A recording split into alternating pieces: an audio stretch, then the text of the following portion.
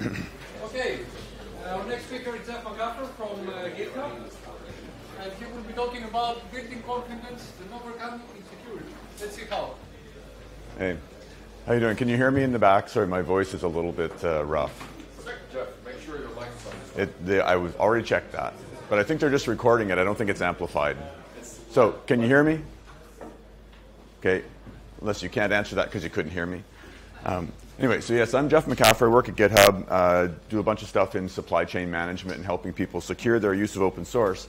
And I just, want- you know, the, great, the preceding talks have said a lot of uh, good groundwork for this. Uh, I'm just going to give you, you know, sort of my perspective on it.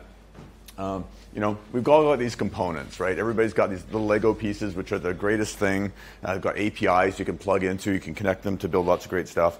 And some of these have great big ecosystems where everybody's help, everybody's around. There's lots of support for the component. There's lots of components in the ecosystem, and some, you know, like not so much. So you're not really sure what's going on in that ecosystem. Some are very well organized. They've got lots of, you know, the re- registries are well maintained and organized. You can find the information about them, etc. And some not so much. Some ecosystems have tons of people around to help you understand what's going on with your pack, the package you're using or other packages. There's lots of information, etc. And some kind of leave everything up to yourself. You've got to figure it out, read the doc, and, and figure out what's going on. Some ecosystems are really safe. They're well, you know, got very well demarcated. You know, construction's happening here. This is the good place to be. All that sort of stuff. And others, you know, have cute unicorns, but they've actually got like Trojan people inside, right? So it's really unclear what's what's actually going on there. The thing that all of these have in common, in for the most part, is they allow you to build really cool things. They've got all these pieces you can build on top of what other folks have done, put together as really amazing things that you know that are solve your problem or appeal to your scenarios. This is actually Lego, and I can't quite tell the scale, but it seems quite large. Um, so poor understanding of what's going on in these ecosystems, whether it's because they're so vast or because they're well, uh, not well managed, etc., can lead to a bunch of problems, right? Failure to comply with simple licensing obligations, um, a profound sense of actual or, or per- perceived insecurity, not knowing what vulnerabilities you're being exposed to, and for you, a general feeling of inadequacy and lack of confidence if you don't get the trend, the, the thread here, it's like uh, the self-help guides. Anybody know Tony Robbins? You know, try to be the best you can be. So I developed this idea that, uh, like, uh, it's a North American thing. Maybe Cosmopolitan magazine has these these things you can read. You know, ten questions that will help you with your dating life and help understand your build self confidence and everything. So I developed this theory that we could have this idea of a dependency management quotient, like your emotional, you know, your, your, your uh, emotional IQ is your dependency management IQ. So this is actually a participatory thing. You all should probably have a piece of paper that was given out earlier for, uh, um, for your survey and everything. So go along. There's a bunch of questions. I want you to keep track of your answers to these questions, and uh, you, just, you just have to count them. You don't have to like remember words or anything. So just count up what you, you know, what you answer, what, what appeals to you. So the first question, my management, my package manager won't tell me what it did last night, and that bothers me. So if that's, you know, count that as one if you agree with that, if that resonates with you. Otherwise, just don't count it at all. I have trouble understanding the packages around me. So, okay. So again, count one if you know. I often have a sense of deja vu in looking at packages. I feel crushed by the debt of the packages I use. You can relate this to like your family, your friends, whatever.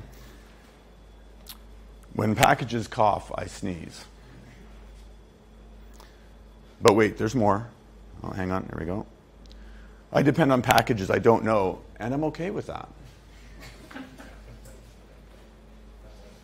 I often don't know what I'm supposed to do. I'm powerless to change the packages around me.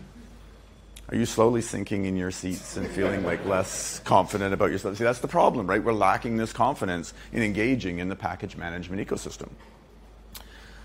I may be paranoid, but that doesn't mean my packages aren't vulnerable. And finally, I'm overrun by packages I didn't know I needed. Oh, wait, that's not finally. Sorry, there's one more.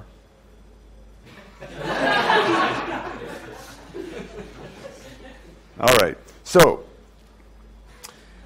if you scored five or higher on that, you may be suffering from package knowledge gap syndrome, or packages for short. So, who had five or more? Come on, it's a safe space. This is, you know, code of conduct. Okay, great. So, both were honest, that's cool, and self aware. These are first steps, right? The first step, the treatment for this syndrome is regular use of tools, strong dose of data, followed by a progressive automation. So the first step is knowing, right? That's the first step. Knowing that you have a problem is the, is the first thing. All right. So this now is like for knowing what you do. If you got if you're a normal package management ecosystem or in a normal normal ecosystem, you've got hundreds of dependencies. You know the earlier talks get research about how uh, how much how big the dependency graph was. Uh, some stats that I saw, you know, working at GitHub, uh, it's like 180 dependencies in your average ecosystem. Uh, there is the top 50 packages are depended on by 3.6 million other packages. Right? The, the scope of this graph is massive. And so you need automated tools to help you understand this. There's a whole bunch of different tools, and we'll talk about those in a second. Um, but you you know you run your package. Who runs a package in a package management ecosystem where the resolver does dynamic code execution at resolve time? Come on now, you, you've got to, right? Yeah, so somebody, few honest people here, right? So this means that when you run, you know, whatever the install the command is, um, it actually goes and runs code to figure out what packages it's going to install. Right? This is really challenging because now how do you understand what you're actually going to be using until you're actually using it? And so there's this problem we have with um, build time, no, sorry, package managers not dumping the, res- the results of the resolution. So they don't tell you what's going on in the system. So you can't really do decent understanding, get a decent understanding and do decent inventory. So using detection tools is cool. Uh, files if you've got them right? So if your ecosystem has lock files, so keep control, take control over your, your uh, dependencies, and maintain the inventory of what you're doing in some sort of searchable system. So that you can actually, now that you know you've got these thousands of, of dependencies, you can actually go and correlate that dependency information to vulnerability data, to licensing data, and so forth. So there's a bunch of different tools available. Uh, Thomas in the front here has uh, mentioned Open Source Review Toolkit uh, previously. Tools like ScanCode and Fossology do great, great job of discovering both components but also licenses in the software that you're using, etc. And Software 360 itself does a great job of inventorying and maintaining an inventory of the components you're using. And Antenna does a good job of detecting them. A Bunch of commercial offerings I won't go into, uh, but the, the key point here is get something that helps you understand what your dependencies are and manage them. Okay? Uh, yes, data. So this is, I'm going to go into this a little bit more. Uh, knowing what you've got is a good thing to know, but knowing about those components is key, right? So compliance information. What is the license of the component I'm using? What are the copyright holders? Because when I need to comply with my license, there's a good chance I need to say who like who produced the software. And uh, the source location. This one's actually kind of funny did a, uh, a, little survey of data in ClearlyDefined, which I'll get to in a second, but it took around 200,000 packages that are in active use uh, around the ecosystem and looked at the packages to see whether or not you could find, given a package, could you find the actual source that went into that package, right? Because packages are binaries in general. Uh, and it turns out that in 42% of the time, you cannot go in any reasonable way from a package version to the commit that went into that package. So you can't, given a package, you can't find what source went into making that package. So how can you do, you know, vulnerability, deeper vulnerability assessment? If you had a source code disclosure requirement by license, how can you do the source code disclosure? You can't. So this challenge of correlate, like of maintaining compliance information, is something that we took to heart uh, a couple of years ago and started a project called ClearlyDefined and I mentioned that one here.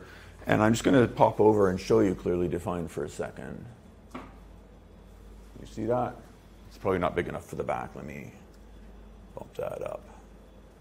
How's that? Can you see in the back? Yes, no?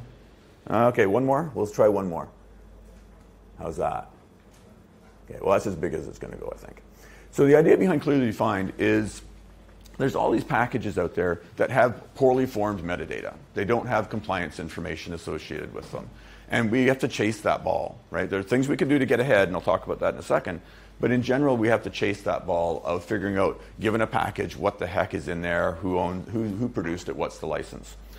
So we made this system that basically took a bunch of open source tools like Fossology, ScanCode, and others, and ran those tools over the code for the package or the, or the package itself. So we go out to the registry, get the package, run these tools, try to figure out where the source code is. If we could find the source code, go and get the source, run these tools over it, and analyze for uh, what's the license, who are the copyright holders, where's the source loca- located, what actual revision and commit, um, what was the release date, a bunch of other stuff.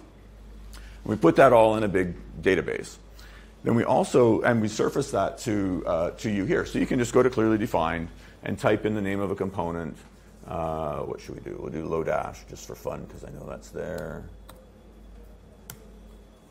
And, you know, here's Lodash.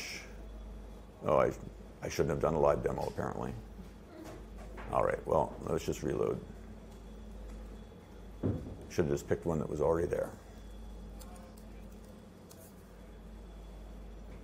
Dun, dun, dun, All right, so if, oh, ESLint, great, that's a good one. Um, so, you know, we can pop into ESLint here and we can see that it's declared license is MIT. We know where the source code is. It was released uh, today, maybe yesterday. Um, you know, we can see who the, who the uh, copyright holders are and also look at all the different files and see which files had licenses and which ones didn't. Now, it turns out that in many cases, this data is incorrect. It's either missing or it's actually incorrect. And so, what we did on top of ClearlyDefined uh, the, the, raw harvesting of data is we allow you to go in and fix it. So, as a community now, you can be discovering that, hey, this component that I'm using has a missing license, uh, missing source location, whatever, and you can go in and basically change it. And I don't know, I'm just going to pick a random other one you change it here, and then you can go and say contribute. And when you say contribute, what's going to happen? You fill out the information. I'm not going to do it because this is live. Um, but it actually goes and opens a pull request in GitHub on the ClearlyDefined project itself. And there's a community of curators, people who care about this stuff for whatever reason. Maybe they're paid to do it, maybe they just love doing it, whatever. Uh, and they go and they curate your contribution. They say, oh, is that MIT? Well, we're here, we're proposing that the new license is MIT CMU. Is it really that? Why? What's the justification? Is that reasonable? And they so when they curate it, they eventually merge it like any other pull request, and that change data now folds back into uh, the database. And so now everybody in the community benefits from the increased, uh, increased uh, fidelity of the data. So we've done this for a bunch of legal and license compliance data. We're also looking uh, going forward at doing this for security related data. So one of the challenges that we've heard around security is the mapping between a package identity, so you know whatever this one was, ESLint something or other, and the CVE identities, the CPEs, right? So who knows what a CPE is? You heard that? Okay, and you're still happy, smiling? No. Uh, so CPEs are these, you know, the identifier that's used to, to uh, identify a component in a CVE, a vulnerability. And the CPE definition is, is relatively obscure and doesn't always map in any intelligible way directly to the packages that you're, that you're actually using. So one of the things that we can do here in ClearlyDefined uh, in that scope is define a, is help commun- crowdsource a mapping between package identities and CPEs. That will help everybody now understand I'm using package foo. What are the version? What are the uh, vulnerabilities for it? So that's the whole idea behind ClearlyDefined. Um, I think it's one of the things that you, if you're in an organization that, that needs to do compliance in any way, uh, can start using that data. You can contribute to that data, uh, integrate it into your engineering workflows, et cetera. So I'm going to go back to the slides here.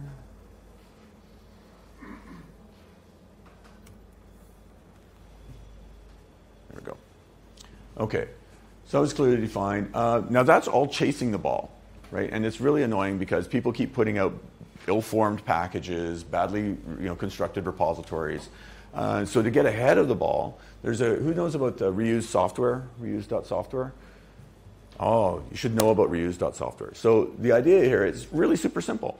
There's a way of you, as a software developer, an open source practitioner, to put forward the needed information, the licenses and copyrights and whatever, uh, in a really simple way, following just very simple guidelines and being, held, uh, being helped by tools that keep you on the right track. So reuse.software defines a syntax, a, a way of putting the, uh, the data in there, and they have linting tools and that that keep your repo up to date. So you'd end up with this being like a PR check uh, on GitHub or something that says like, hey, you just added this new file, but you forgot to put in a copyright or a license statement, right? And these are sound like oh, kind of annoying things because you're just a developer and you want to do this, but it turns out that if you don't have a license on your software, people aren't really supposed to use it because they don't have a license for your software. So it's kind of important. So I suggest you go take a look at reuse.software. Um, on the vulnerability side of things, so you've got an inventory of all the, the code you're using, the packages you're using, uh, but now you need to know about the vulnerabilities in there, right? Now you can go and look at the NVD, the actual the National Vulnerability, Vulnerability Database uh, in the U.S., um, but it's kind of cryptic and relies on CPEs, et cetera. Uh, fairly hard to use, but okay. There's the GitHub Security Advisories database, and this is actually a superset of all the CVEs that are in the NVD, lots of acronyms, um, plus all of the advisories and warnings that maintainers have produced on GitHub. So since uh, maybe six months ago, we started the Maintainer Security Advisories program. So on GitHub, if your project's on GitHub, and somebody tells you that you've got a, a vulnerability, they, they say like, hey, there's a problem in this file. You can create what's called a maintainer security advisory. And that gives you a private place to work inside of GitHub. So you're working on GitHub still, but it's in a private fork effectively. You can go and work with your security team and your other developers to figure out what the vulnerability is and to actually develop a fix. You can have a conversation and everything. And then when you've got a fix, you can publish now a pull request that fixes it and have it create a CVE, and that goes into the GitHub Advisories database, which is available both like in a browsable form here at that URL, but it's also got an API that you can call. So now you can have your, your uh, engineering system look at say, hey, I'm using these packages. Let's go off to GitHub and see if there are any vulnerabilities, right? That kind of thing. Uh, and then there's a ton of domain uh, and ecosystem specific uh, vulnerability databases um, the other aspect of using packages that doesn't get a lot of, I guess in the sustainability discussion, we had some of that uh, in the earlier talk, but uh, community health. So when you're taking a dependency on a package, you're actually taking dependency on a bunch of people. So who remembers, I guess it might have been about a year ago or something, that the black hole picture came out, right? That people had developed a, the first picture of a black hole. Turns out that was all developed basically with software. I mean, obviously there's the sensors and everything, but then there's a whole mass of data processing that went into doing that. And that was all done in Python uh, based on a whole set of, of uh, Python packages. And it turns out when you do the analysis of the number of people who were contributing to the packages that get used to produce the black hole picture, it was like 20,000. So it's like 20,000 people wrote software that went into producing that, that, uh, that image. So there's a ton of people in, in open source. Open source is all about people and communities, but are they healthy communities? When you're taking a dependency on a package, you're taking a dependency on a set of people who wrote that.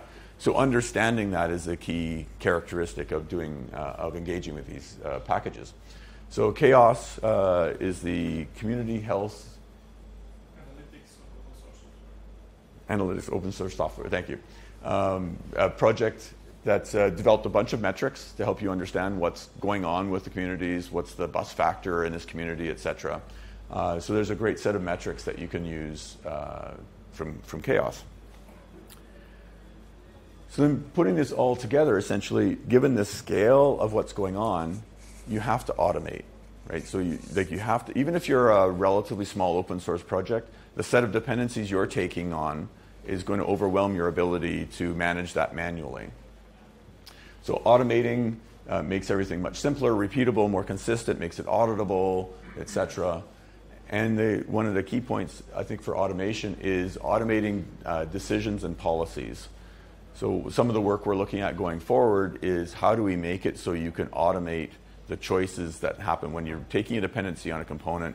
Your system automatically detects that and then tells you, like, hey, this you're taking a dependency on a component that hasn't been updated in a year, and all of the, the developers have gone away.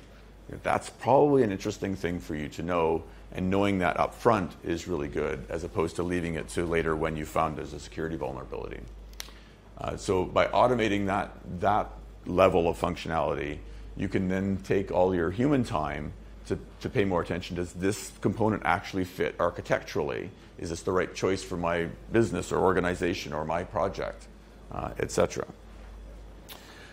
So the prognosis then is that uh, if you start taking some of these steps, your symptoms of, of uh, package knowledge gap syndrome should start clearing up over, you know, it takes a while. It might be three to six months until you actually start seeing some improvements, uh, but, it, but it will happen.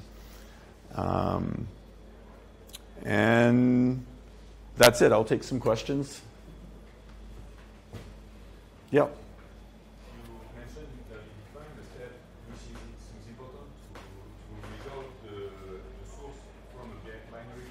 Yep.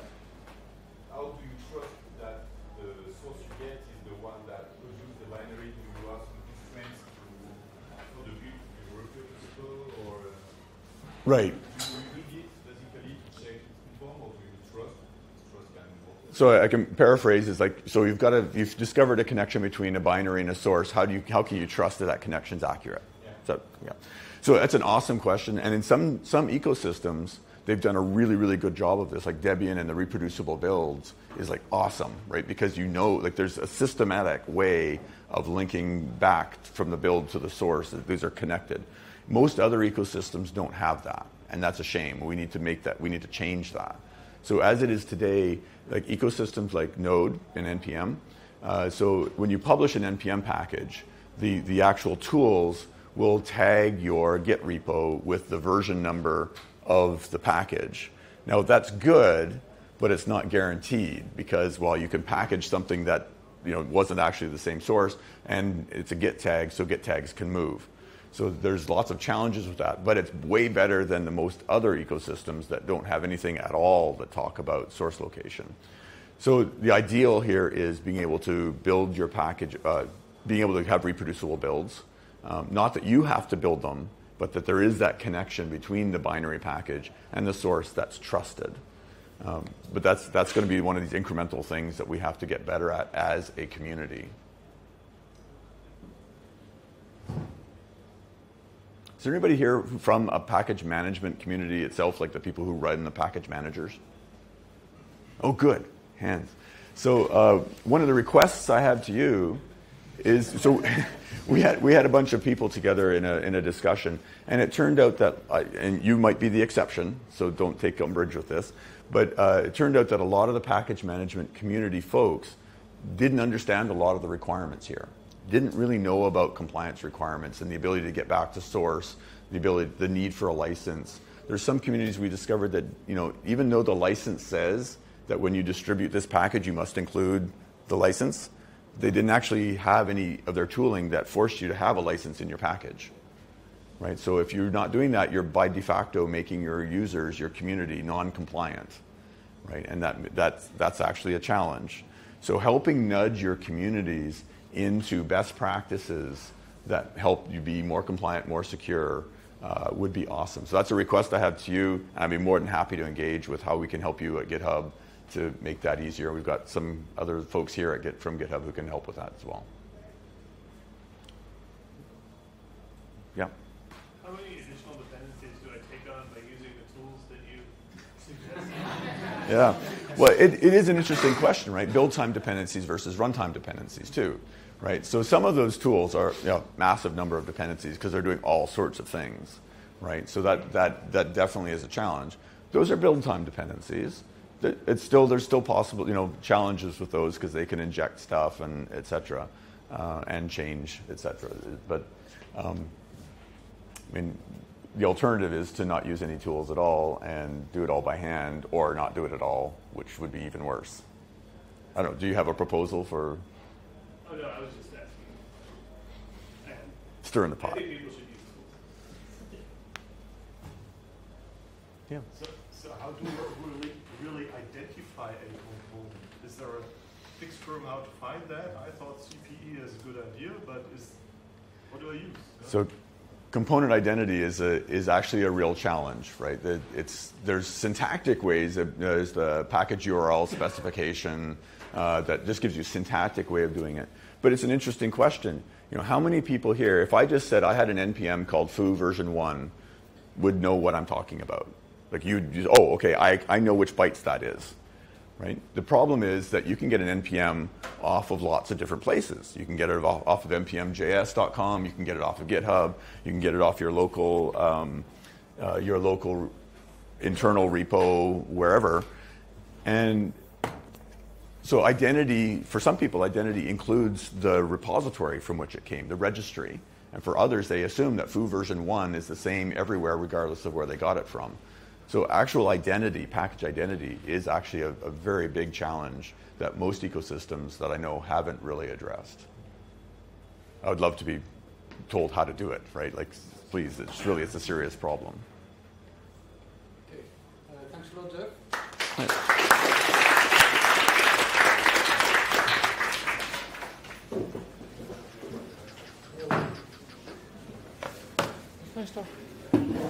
Yes, May I Oh, the mic? Oh, jeez, yeah, sorry, wandered away with it. Doug. Thank you kindly.